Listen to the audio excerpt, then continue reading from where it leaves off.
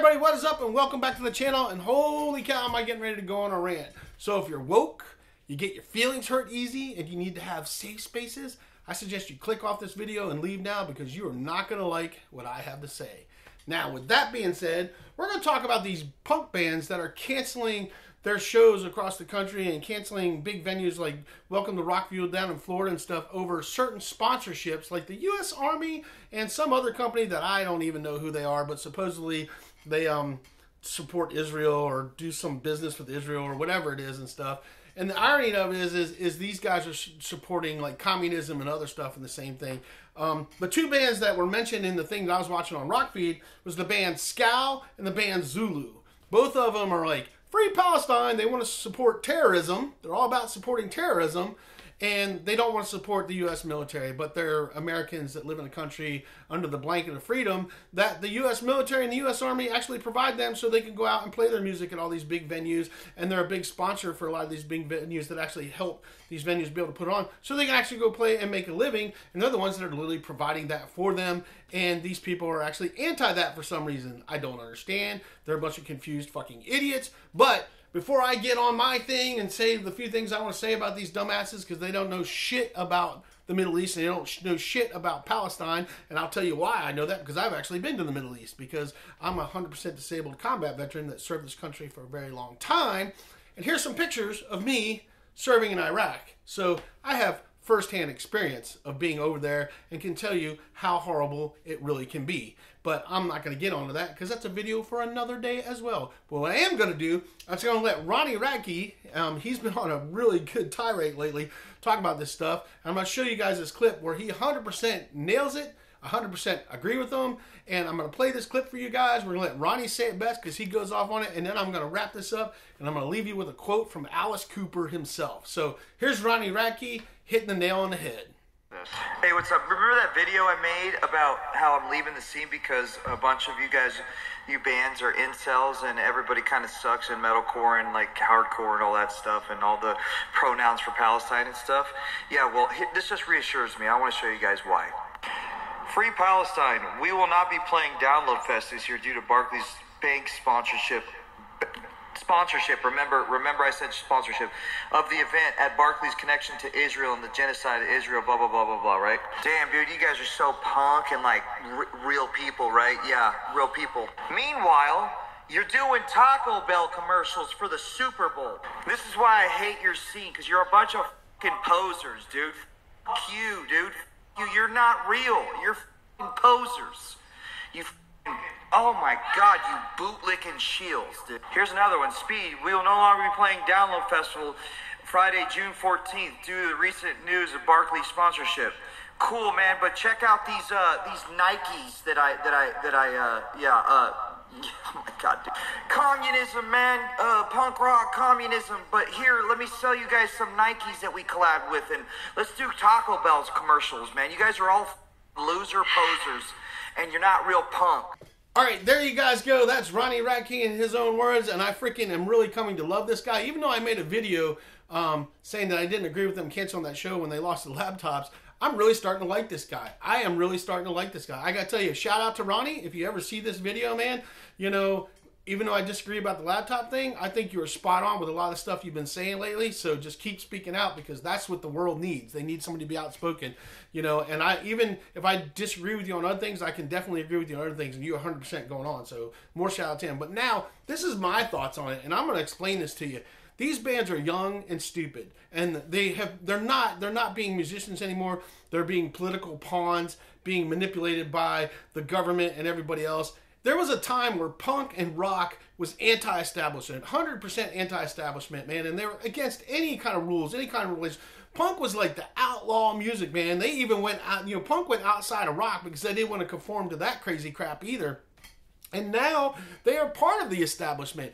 I mean, Offspring, the band Offspring, that in my day when they were coming up, they were a great punk band, and they fired their drummer of 17 years during COVID, and this man literally medically could not get the stupid COVID shot. Like, talked to his doctors, they said it would be risky because he has other health issues, and so they told him not to get it, and so they fired him. This is a guy that worked with them for 17 years and thought he had a good relationship, and they're so woke that they, instead of working around it and figuring out, they just fired him.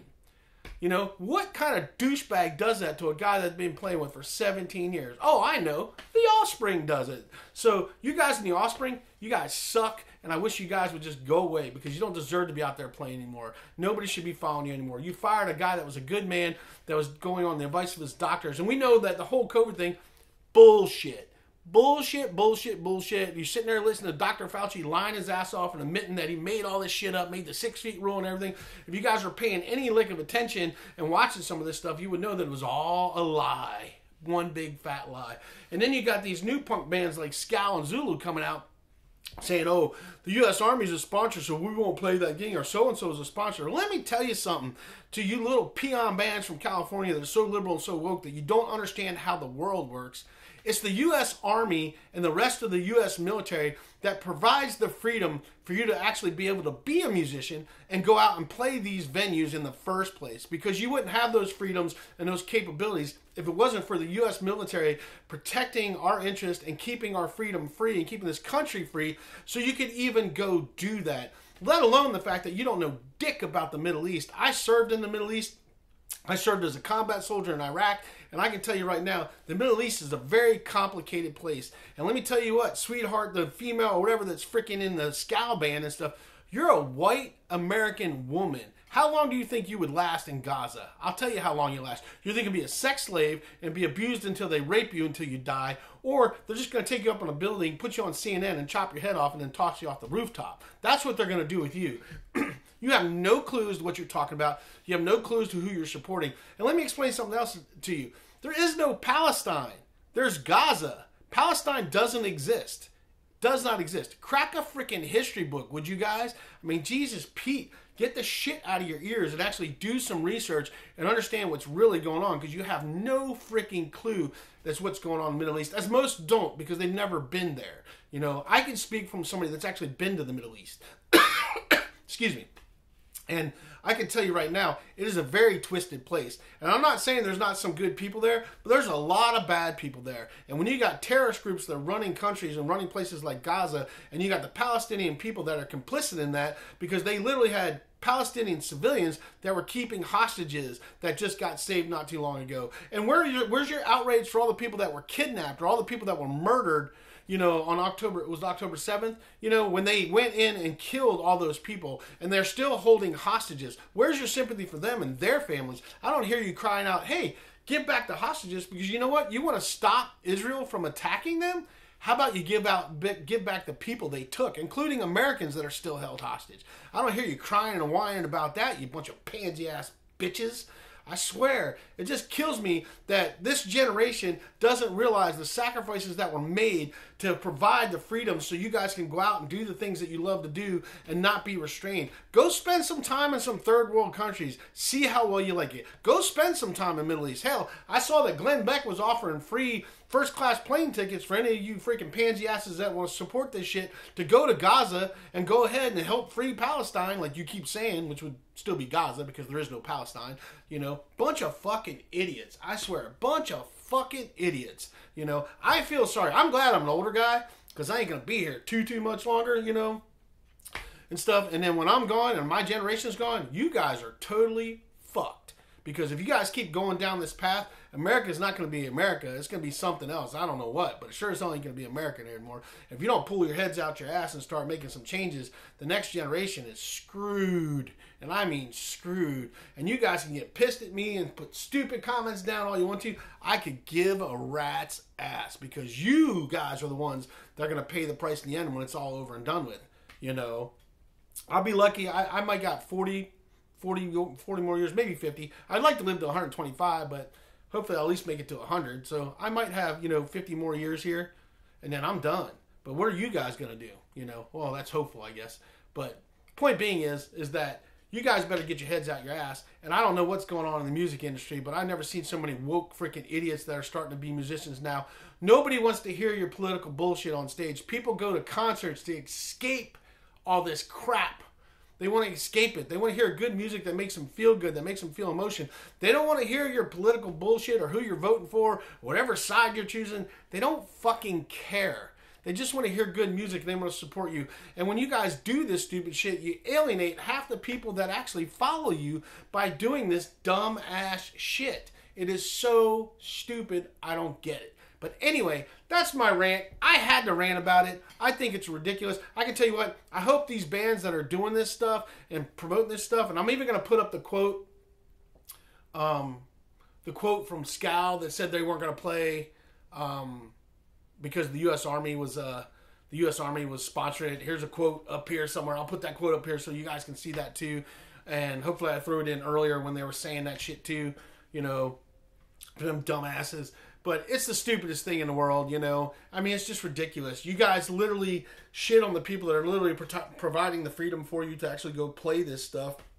And then you're pissed off about other people that are sponsors that are really sponsoring these events so you can ha- go have a career. Like these are the people that sponsor the venues so you can actually go have a career and get paid. And now you're out here making political statements. I mean, you're a bunch of fucking idiots, is what you are. I mean, you're a bunch of fucking idiots. I mean, that's all I can say. But I'm going to leave you with a quote from Alice Cooper. Love Alice Cooper. Here's Alice Cooper's quote. This was on Facebook. I'm going to put it up here for you guys. Here's the quote When musicians tell people who to vote for, I think it is an abuse of power. Ugh, I can't read. Let's read that again. When musicians tell people who to vote for, I think it is an abuse of power. They are inviting their fans not to think independently, but to follow their thinking. Rock and roll represents freedom, and this is not freedom.